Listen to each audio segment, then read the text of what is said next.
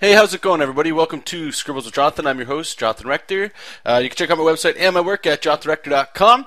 And real quick, what this is is going to be a sketch, obviously, taken all the way to completion of um, a Halloween character, I suppose. And um, you know, really quick backstory: uh, a buddy of mine uh, Bob Leonard, uh, he had messaged me over Twitter, and he has this really cool idea, and I guess he's been doing it for a while. And you know, once I tell you the idea, there's no way I could turn it down. Um, and what what he, I guess he's been doing is um, for I don't know how many Halloweens, he gets uh, you know a bunch of sketches done uh, from other artists or maybe himself, and then he gets like a little mini comic which could be about eight pages or so, you know, nothing drastic, and then you just fold it up, staple it yourself, you know, and then uh, on Halloween, you know, he just starts handing it out to kids uh, with the candy, and I thought, you know, that's a that's too good of an idea, um, you know, something I think a lot of us artists, you know, there's certain things that some of us like to do, and some of the things that we feel like we have to do, and this here the idea behind it anyway, it seemed like something that I, I would definitely want to do. And you know, a lot of people talk about drawing and not wanting, don't do work for free and stuff like that. And it's not just because it's kids, you know, that you're going to do it for free or something like that. But uh, for me, I don't know. I just know if I was a kid, maybe you know, when you're getting some really cool artwork, and I, when you're a kid, I don't even know if you know what cool artwork is. Uh, I think that's something you find out down the road, what you like and your style preference and all that good stuff. But you know.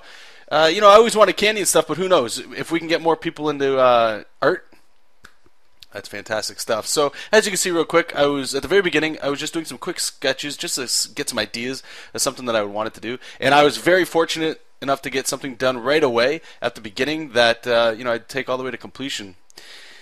And you know, uh, this is supposed to be for like a coloring book, so I don't want to render too much. I want to leave a lot of open lines, some nice thick lines, and you'll see that once we start throwing the contour line over top.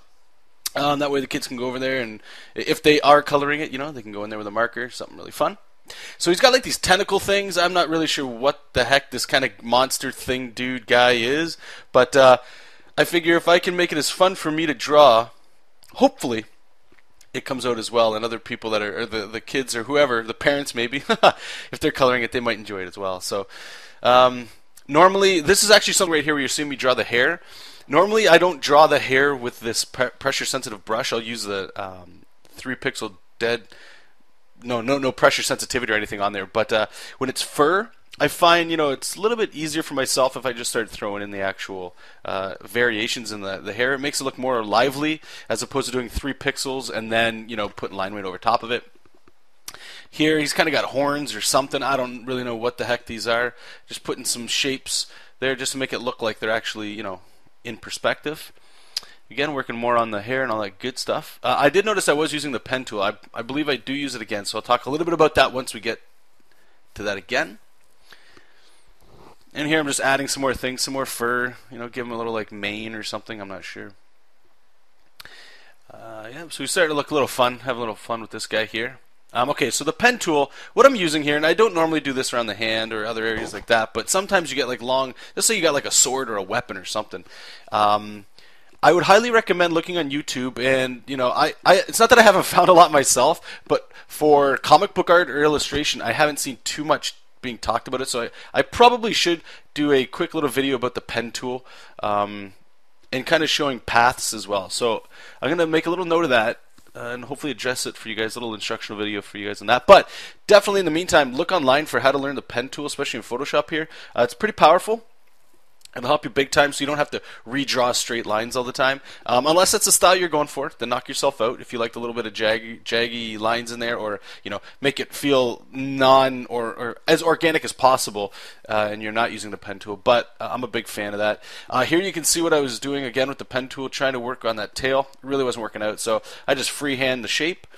And then if you go control, if you make that shape on a new layer, and then once it's done, control, I think it's what is it, control and then click inside the box on the layer that you just made, it'll highlight the selection, which is that black shape you just made.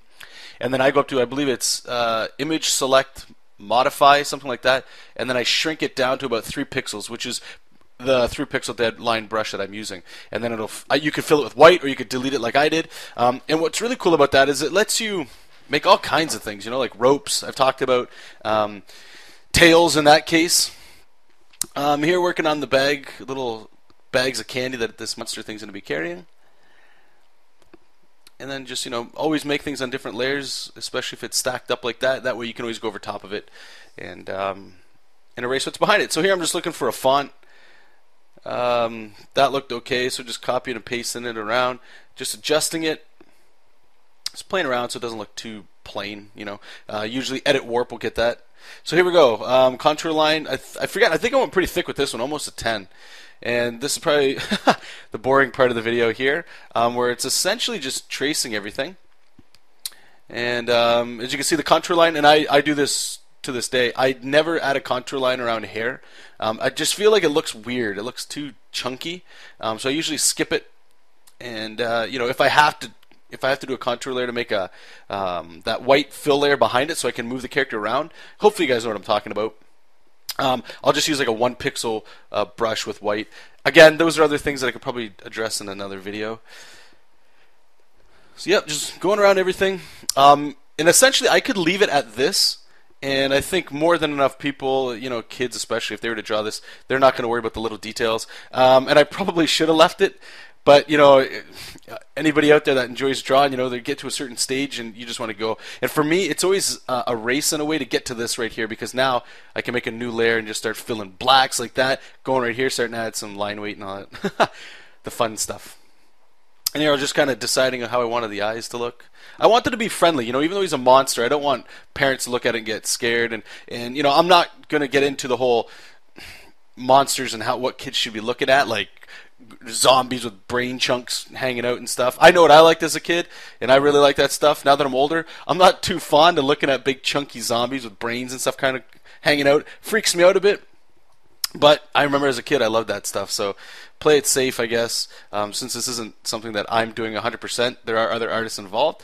Um, and this is I don't want to say it's charity doing this kind of thing, but it's it's fun being able to work on a project something like this. And it's not really a project; it's just a sketch. And it's like you know you could take 20 minutes out of your day to do something like this, and you know it's pretty cool, I think. So when, on Halloween, when kids are coming up, hopefully get some candy. And I don't know how many kids are still doing Halloween. It seems like it's dying off all the time. But uh, I'm gonna try it this year too.